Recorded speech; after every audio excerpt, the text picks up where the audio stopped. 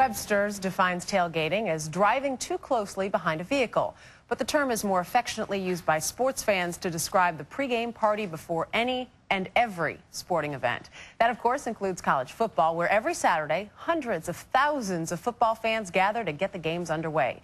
So which tailgates are the best? And once inside the stadium, what's the best place to be?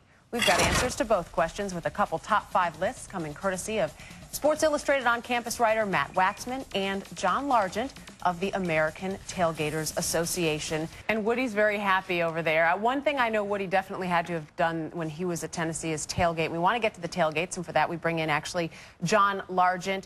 John, give me your top five tailgates college Absolutely, football. you bet. Uh, our top five coming in at number five is the University of Louisville. They've got a brand new stadium. They also have refurbished um, train uh, carts that also uh, double as railgating. So that's a real unique aspect of uh, tailgating at uh, Louisville. Number four, Texas A&M, as Matt made allude to uh, or alluded to.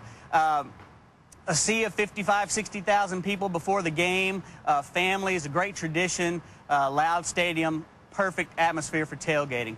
Coming in at number three is Penn State University, the largest active alumni association in America. They decorate the whole place. Happy Valley is named that for a reason. It's absolutely a fantastic atmosphere. It's a picturesque environment, and uh, the, the game day atmosphere surpasses none. Number two, Woody, I'm sorry, but they're number two. The University of Tennessee didn't quite crack number one, but I tell you what, uh, going there for Rocky Top. I'm actually going to be there this weekend. I think so much of it. It's going to be a great electric atmosphere. The whole state gets behind the Vols. And uh, from a tailgate standpoint, they got the best barbecue fried chicken and blackberry cobbler in the world. and the number one tailgate. Oh, your props. That's beautiful. I got a prop. The world's largest cocktail party.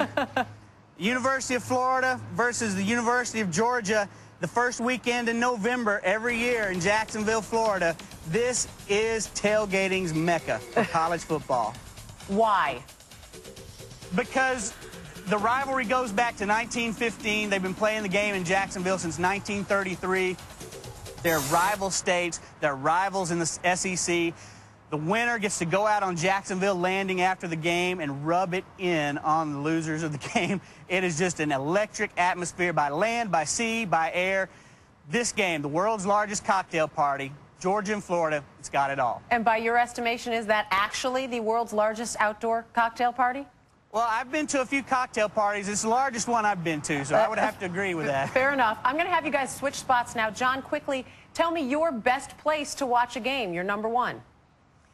Well, being here in Texas, I have to say my favorite place to watch a game is in Austin at the University of Texas. Uh, it's a great uh, tradition going back to Dana X Bible back in the uh, Darrell Royal days. It's just electric. Earl Campbell. It is so much history there, and I'm a native Texan, and so I have to say the University of Texas is my absolute favorite place to attend a football game. Matt, what about you? Your favorite tailgate spot? For my money, I'm going to have to go with LSU. Just the uh, Cajun infused scene. You're getting, instead of burgers and dogs, you're getting crawfish, you're getting pig roast, and you have 12 hours before the game just to get ready. It's just perfect. Matt and John, thanks a lot for the insight. We appreciate it. People that are looking for games to go to now have maybe five more on their list. We continue to get you pumped for the college football season tomorrow. We've got the top five games to watch this year and the top five games to watch every year. Coming up on